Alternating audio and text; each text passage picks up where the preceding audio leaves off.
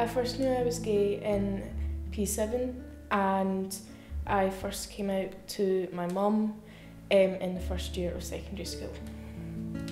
I'd always just grown up being kind of different. Um, hadn't really noticed that there was a name for it or that it was a specific thing until I was probably in secondary school. Um, and the first person I ever told that I was gay was my cousin. Um, we were really close as friends anyway, and he was the first person that I told.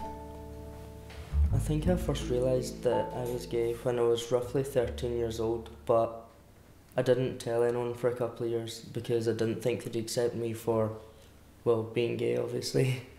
Um, and I came out to my friends and family that didn't already know only a few months back because I felt that they had to know and I couldn't keep hiding things from them.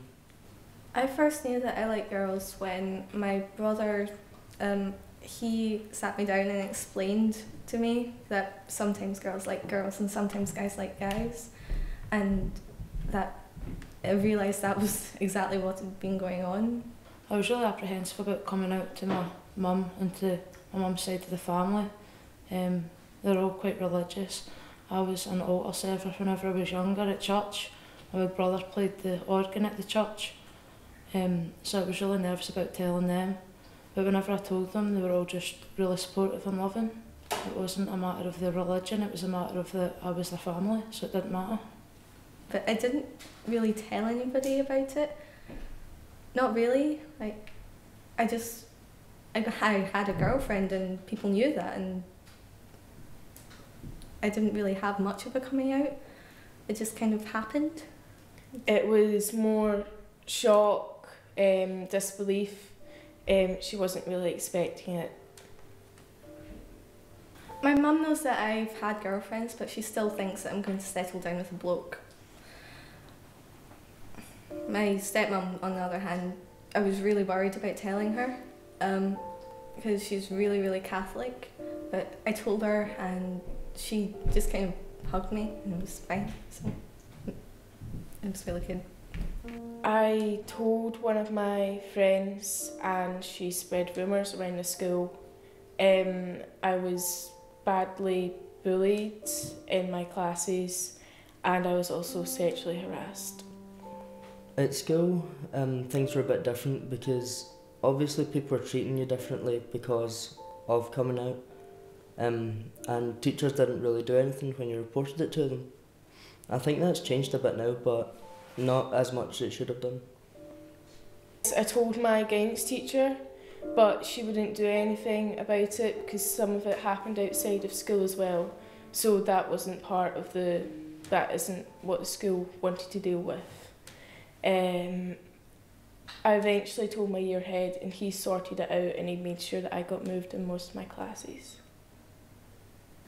I think that the most important thing that people can do in a school is to listen to them, even if they don't. If even even if they can't change anything, it can make somebody feel so much better if they've just got somebody to talk to. When I was labelled as homo or lesbo, it sort of knocked your self confidence, and you felt really overpowered, and it just was a horrible low feeling when you went home from school. When I hear people saying that's so gay, I I don't know, I just real I don't like it. I will correct somebody if I hear them saying it. I actually used to use the term that's so gay among my friends, usually just um, we all had it as a kind of colloquialism, but since going to the group and finding out how it makes other people feel, I realised that it's probably not the best way to speak and that it has an impact on people even if you don't yourself realise it. Hear it quite a lot like, oh, that's so gay that you're doing this, and those shoes are just, oh no, I don't like them, they're so gay, and that sort of thing. Um, it's quite a regular thing to hear, um, but you just sort of get on with it and you keep your head down you don't say anything to them. Whenever I was at school, I was already bullied anyway, so I wasn't even out. I didn't think it was worthwhile having something else to add to the list, but I think I would have found it easier to come out if there had been more discussion about it, particularly going to a Catholic school as well. It was hard enough even at sex education to get that, let alone anything to do with homosexual relationships or transgender or anything like that. There was just no awareness about it at all. Have more support in place, make them feel more comfortable and that they're more secure and that they're not just alone in this huge big education system um, and when, even if they do get discriminated it's sorted out quickly saying they're just they don't feel alone basically I think even just speaking about it and letting people know that it is a thing and that it is okay would be so much, it would make it so much better at school. I went on websites like LGBT Youth Scotland, um, Stonewall, and I found about the It Gets Better project, um, and those videos really, really helped me to get to improve my self esteem. Um, also, I found out about the LGBT youth groups and started going along to them, and it was a really, really good place to talk openly about your feelings. I've really enjoyed starting to go into the youth groups in Kilmarnock and Glasgow, so there is plenty of them, and there's lots of people like myself, which really makes it easier and it gives you someone to talk to. Jo- going to the group and making this DVD, One of the things that's made me happier about who I am with regards to my sexuality was being in a relationship.